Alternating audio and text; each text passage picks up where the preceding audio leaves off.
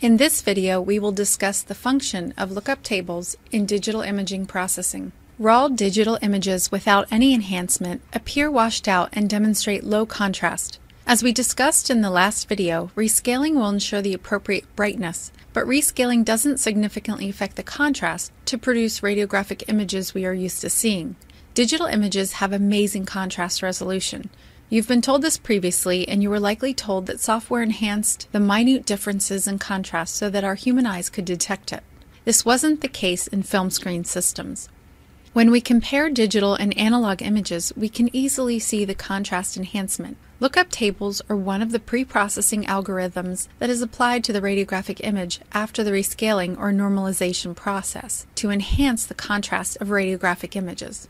Lookup tables can also be utilized to make adjustments in contrast after the pre-processing has been performed.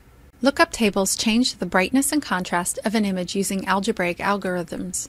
As with rescaling, lookup tables are also part specific, meaning a chest LUT will differ from an elbow LUT. This is because the contrast required to show optimal visualization of anatomy differs with these two parts. Raw digital images have a linear exposure response and a wide dynamic range. Because of this, the image doesn't demonstrate anatomic structures well, as we saw in the previous slide.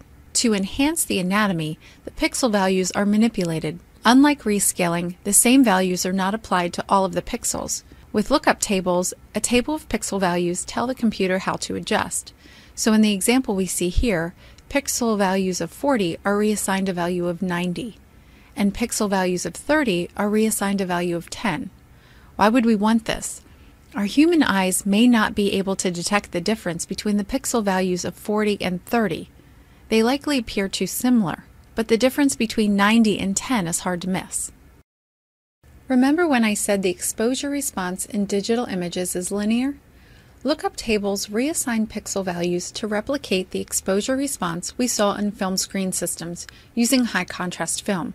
This narrows the latitude or dynamic range.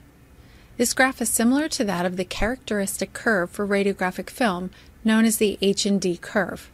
As we discussed earlier in the video, each projection of each part has a specific LUT that is applied to optimize the contrast and brightness of that digital image to demonstrate the anatomy of interest. This is done through modification of the pixel values or level of gray or brightness displayed in that pixel.